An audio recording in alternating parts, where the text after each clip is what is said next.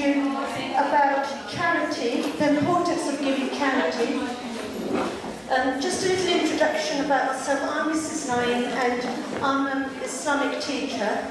I work in two mosques and I'm also an advisor and consultant for Islam as well. Um, and I do quite a few lectures in different places um, in my spare time. So I've been invited here to talk to you all about charity and the importance of charity. And basically there are many, many ayahs in the Quran which mention the importance of giving charity. So I'm going to start off with two ayahs from the Quran. This is the first one. This is from Surah Baqarah, ayah number 261. The likeness of those who spend their wealth in the way of Allah is as the likeness of a grain that grows into seven ears, in every ear a hundred grains, and Allah multiplies for whom He wills, and Allah is ample giving and knowing. So if we look at this ayah, it's very, very um, strong ayah. And what it means is basically that giving in the path of Allah is like seven ears. And if you look at seven ears of corn and you open them up, and there's a hundred grains in each one. So basically, you're starting off with 700 blessings already. The next one.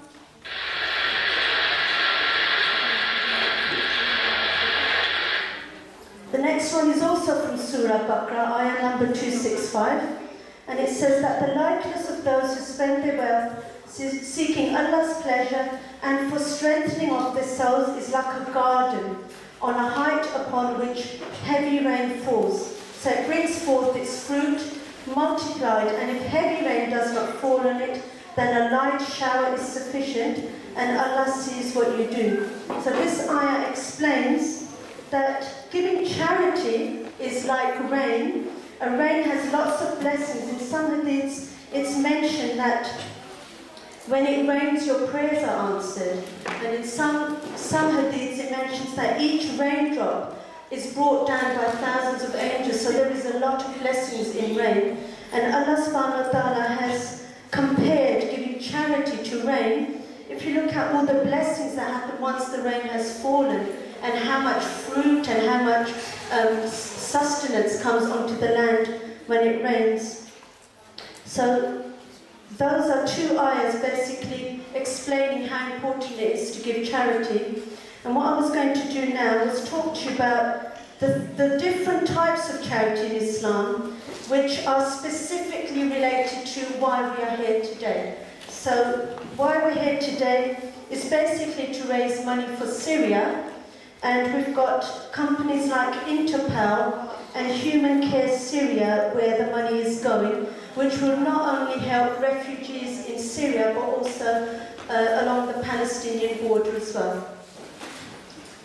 So the very first thing, which is compulsory in our religion, is actually zakah. And that is the very first charity that is mentioned in the Quran and our religion is the very first religion in which charity was actually made compulsory. It's the first religion where charity was actually made compulsory. It's the third pillar of Islam. And if we look at the time when Prophet Muhammad came, at that time the rich people were really, really rich and the poor people really, were really, really poor. The reason for that was the rich people were not giving any of their money to the poor. And that is why then ayahs came from the Quran down to tell us that we, the rich people have to give money to the poor, and it's done in such a way that the wealth is distributed. So an important principle in Islam is that everything belongs to Allah. Wealth is therefore held by human beings in trust. So what we mean there is that everything, every single penny that we own is from Allah in the first place. So, it's Allah's money. So we should be then spending in the path of Allah to try and give some of that money back to say thank you to Allah. And each Muslim pays 2.5% of one's capitals and assets to those in need, and this is called obligatory charity or zakah. And zakah is a very unique concept because compared to other forms of giving, it redistributes the wealth in society and when it's applied correctly, it effectively eliminates poverty. Now if you think of really, really rich people, this stops them getting super rich because the richer you are, the more zakah you have to give. So it's a very important concept. Also, even within um, the English culture, they say that money is the root of all evil. And in Islam, we say that too much money um, causes you to go astray and follow shaitan's path. So this is a method, really, of very, very rich people giving away some of their money to the poor. And if it's done correctly, did you know that if everybody in the whole world gave zakat, there would be no more poor people left in the world. It's such a beautiful concept, very, very good concept to follow. And zakat can be given at any time in the year. It doesn't need to be given in Ramadan, but there's a reason why people choose to give it in Ramadan, because each and every penny you give in Ramadan multiplied 70 times. So if you give one penny, it's like giving 70 pennies. If you give one pound, it's like giving 70 pounds. So people choose to give it in Ramadan. But if an occasion like this comes up, which is not in Ramadan, you can still do the intention that you're giving your money as zakah. Because this is for poor people. The whole idea of giving zakat is for the poor. And there's seven categories, um, all to do with the poor, where you can give your zakah. And this is actually one of them, where you can give money to orphans, to widows, for shelter, for food, for clothing. So if you do your intention that this is for zakah, you can then take that money out of your zakah whenever you're going to give it. The next type of charity which we can apply to today is actually called Sadaqah Jariyah. Sadaqah Jariyah is a special type of charity where the charity is ongoing after you die right till the day of judgment, right till Qiyamah, you get the blessings for doing seven things. And there are seven things quoted in the Hadith where you can get blessings right till the day of judgment. And all of these we can apply for today. We can give money for all these items. So the first one is actually to plant a tree. This is actually written in Sahih Muslim and Bukhari as well. Did you know that each time you plant a tree, once it's grown, each time any person or animal sits under its shade, you get the blessings.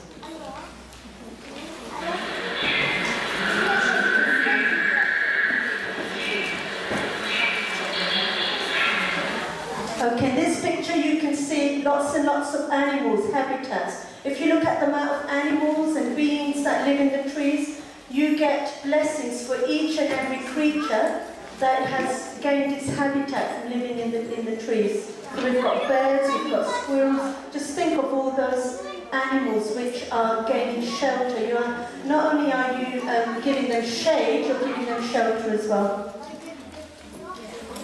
And this picture is about all the food that comes from trees, all the fruit. Um, the best tree, which in Islam is the best tree to plant is an olive tree because olive not only does it give it give shade and habitat and food, which is the fruit, it gives oil as well. And olives is one of the sunnahs of Prophet Muhammad So that's a very good tree to plant. And you can give money through these organizations to plant trees in Syria where they are all being destroyed because of all the war and everything that's happening at the moment. Palestine is a, a, a, particular area where there are very few olive trees left. They've completely been destroyed. And that's another area where there's always pleas to go um, to give money to, to plant olive trees. Okay, the second type of sadaqah jariyah is participate in the building of a mosque. You can do this in poor areas where mosques are being destroyed. And first of all, zakat cannot be used to build a mosque. So basically, the charity you give would be as sadaqah jariyah. So everything that happens in that mosque, everything all the prayers that are done in there, if you think of all the Quran that's going to be read in there, any lectures that will happen in that mosque, any sermons on Jummah prayers, each and every blessings will come to you right till the day of judgment. Even in your graves you will get those blessings. So there is great reward for building a mosque. Give a copy of the Quran to somebody and each time they read it you will get blessings. And nowadays, in the modern technology world, you can even give a Quran CD as well. It's the same kind of thing. So any, anything, even while the person is listening, you will get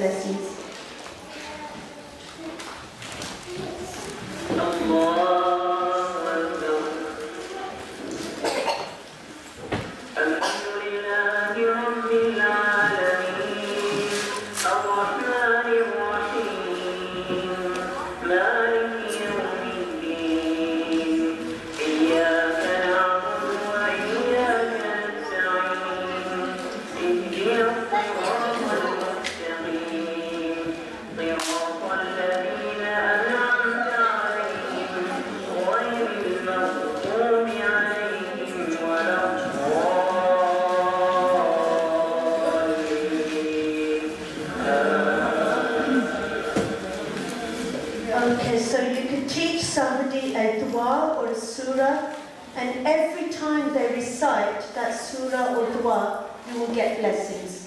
And that actually brings me up to the next slide, which includes helping in educating a child. So any time you give money for a poor person to learn um, the Quran or learn anything, any knowledge, anything, even in the mosques, you get the um, blessings, and especially when you do it for an orphan.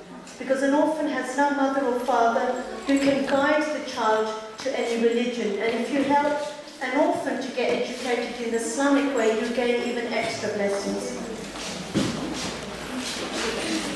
The next one, if you think of our countries back home, they're all hot, very big shortage of water. If you look at um, Prophet Muhammad, he was born in Arabia in the deserts. There was no water there, very, very big shortage of water. And even the Prophet Muhammad even near a lake, told us to be careful with the amount of wasting that we're doing, even while we're doing wudu, even in front of a lake. Because water is very, very special in our lands. And for that reason, in one of the hadiths, it's mentioned that a water cooler, if you place a water cooler in a public place, everybody who drinks from that water, you get the blessings.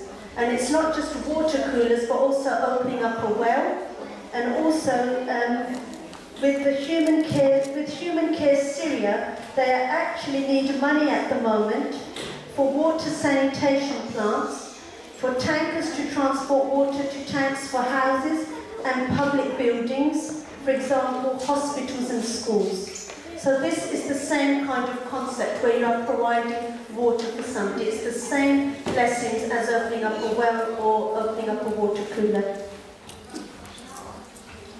And the last one, in Islam, we have to look after the sick and the poor and the old and this is particularly for the elderly, if you donate a wheelchair to hospital, every time that sick or old person uses that wheelchair, you get the blessings right till the day of judgment. And both of these charities have got links with hospitals where you can donate um, wheelchairs as well. Okay, the next kind of charity is just norm normal sadaqah, which is just normal charity and this hadith tells us that the believer is not he who fills his stomach while his neighbor is hungry. So it's mainly feeding the poor.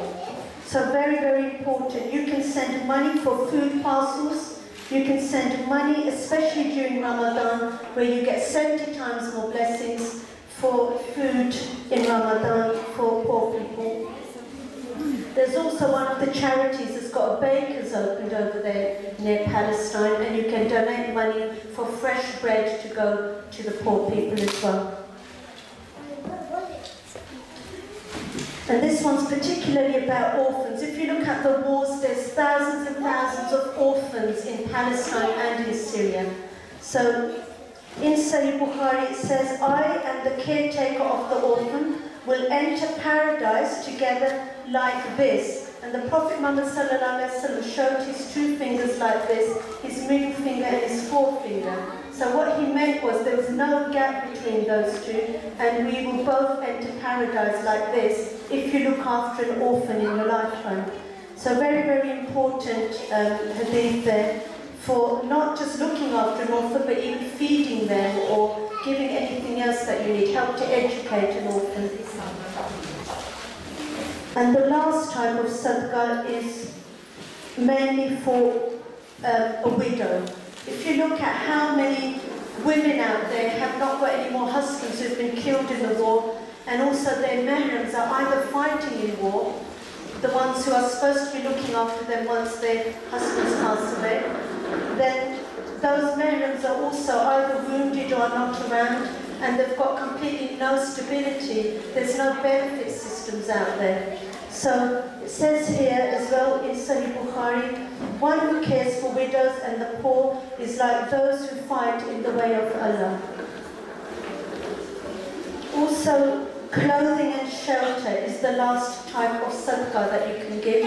Clothing and shelter is very, very important for all the poor people out there. Okay, so that brings me to close um, the talk.